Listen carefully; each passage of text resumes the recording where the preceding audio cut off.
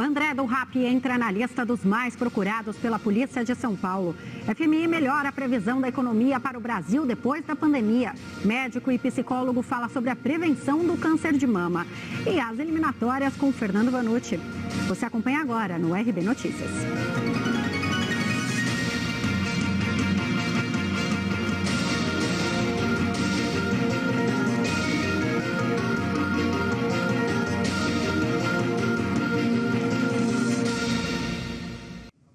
Olá, boa noite. O nome, os dados e a foto do traficante internacional André do Rap, apontado como um dos principais líderes do PCC, foram incluídos no site da Secretaria de Segurança Pública de São Paulo, entre outros 21 criminosos mais procurados pela Polícia Paulista.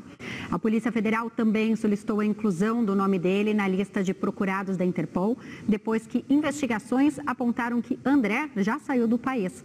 Ele teve a liberdade concedida neste sábado, depois da decisão do ministro ministro do Supremo Tribunal Federal, Marco Aurélio de Mello. E quem vai falar sobre o assunto é Ney Gonçalves Dias. Ney, boa noite. Boa noite, Camila. Boa noite a todos.